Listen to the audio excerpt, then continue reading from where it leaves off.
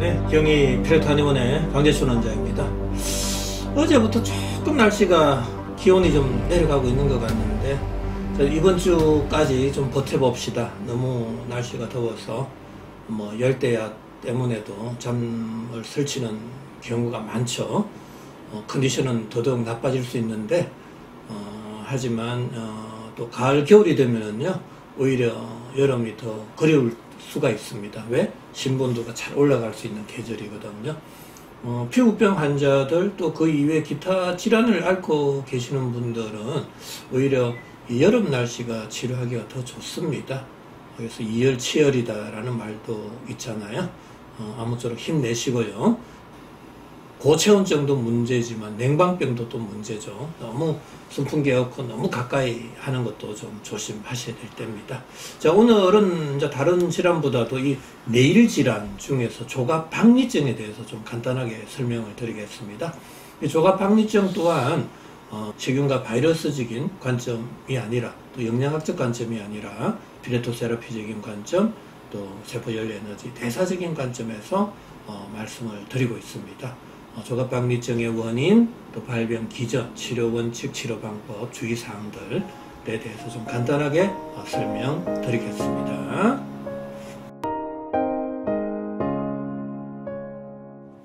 자, 일단 조각 박리증 또한 세포의 손상이죠. 세포가 손상을 받게 되면 세포 내 미토콘드리아에서의 ATP의 합성에 장애가 생기고, 어, 그로 인해서 뇌를 포함한 오장육부염도, 신분도가 이렇게 내려가게 되죠. 신분도가 내려가면 체열의 방출을 줄이기 위해서 손발 끝에서 무공을 닫게 되고요.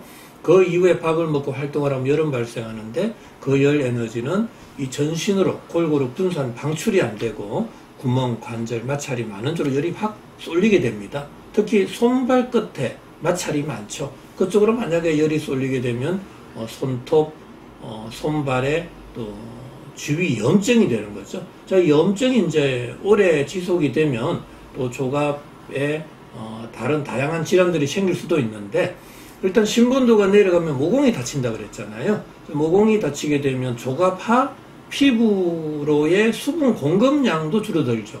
그럼 피부 하 조직의 피부도 건조해지고 그럼 갈라지잖아요. 그럼 갈라지다 보면은 작은 조각들이 생겨서 떨어져 나가게 되는데 그럼 조갑체와 조갑하 사이에 작은 공간이 생기거든요. 바로 그게 조갑박리증이다라는 이야기입니다.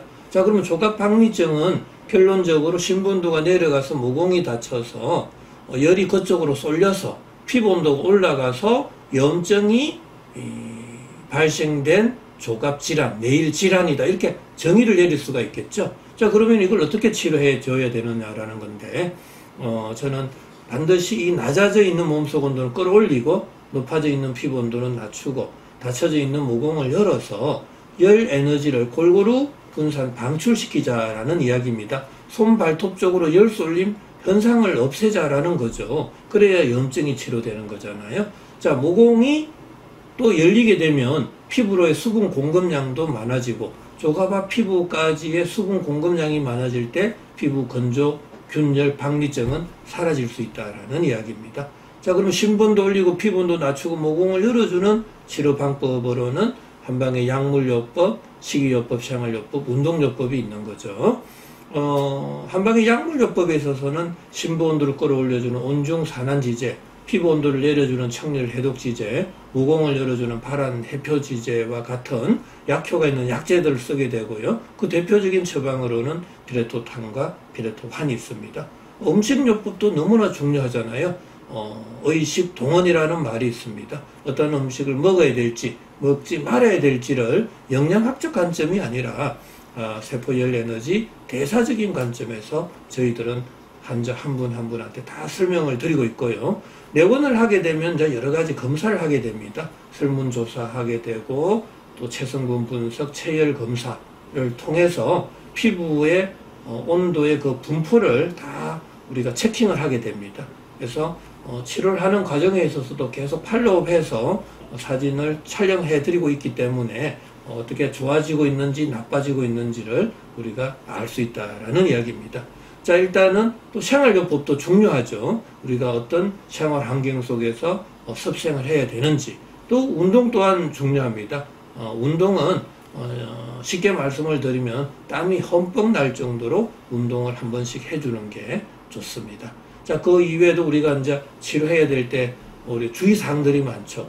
우리가 세포 열 에너지 대사를 억제하는 한약이든 양약이든 그러한 약물의 사용은 가급적이면 하지 말아야 되고요. 항산화제, 유화제, 경화제, 또 보존제와 같은 식품 첨가물이 들어가 있는 음식들도 굉장히 조심하셔야 됩니다. 어, 먹거리 하나하나가 다 약이라고 생각하셔야 되니까 어, 먹거리에서부터 우리가 생활 환경 이런 것도 다 조심해야 될 걸 저희들은 다 설명을 해드리고 있습니다. 자 아무쪼록 지금 날씨가 너무 덥습니다. 어, 온열 질환도 조심해야 되지만 냉방병도 조심해야 될 시기입니다. 자 오늘은 제가 박리증에 대해서 간단하게 설명드렸습니다.